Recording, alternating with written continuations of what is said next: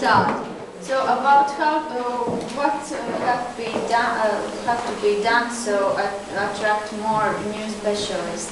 Uh, if we have to be short, quick, then I just uh, try to read, and if there's some questions, uh, I'll explain.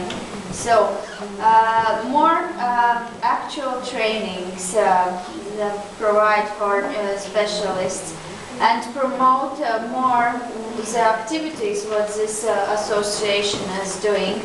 Um, besides uh, trainings where we have uh, we can uh, learn some new skills, uh, there is necessary non-official trainings um, and meetings, gatherings like.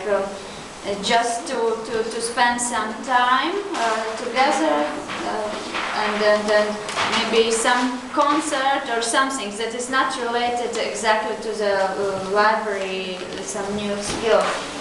Um, then exchange of uh, exchange programs. We, we thought maybe it would be a good idea that some new specialists go to, to work for a week or two in other libraries and uh, then it's, it's, it's his uh, workplace and get more and, uh, experience. And um, partnership with other cultural institutions.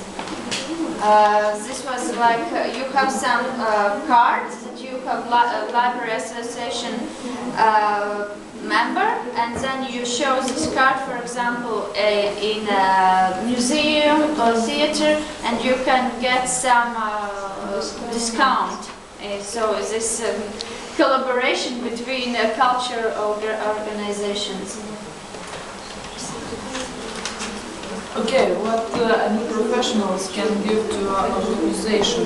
Uh, I think uh, new professionals can give uh, more ideas, inspiration, and uh, a lot of amount of energy. Uh, also, young specialists at the always attracts more new professionals and young specialists to the association. uh, new specialists can share and teach, especially.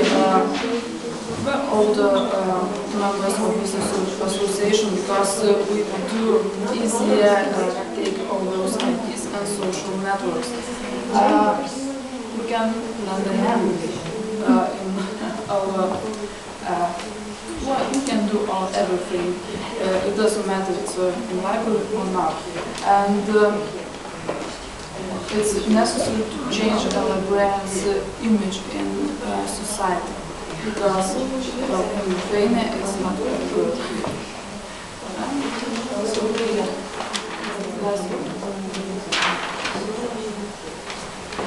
last one is the, how the organization can empower professionals. They can give like big access to conferences and trainings where the new professionals can go there easily.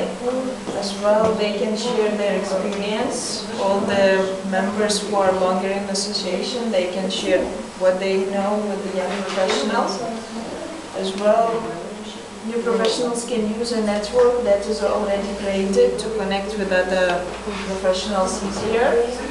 And as well, new professionals can get recommendation from association when they need uh, to go to some other work or do some projects.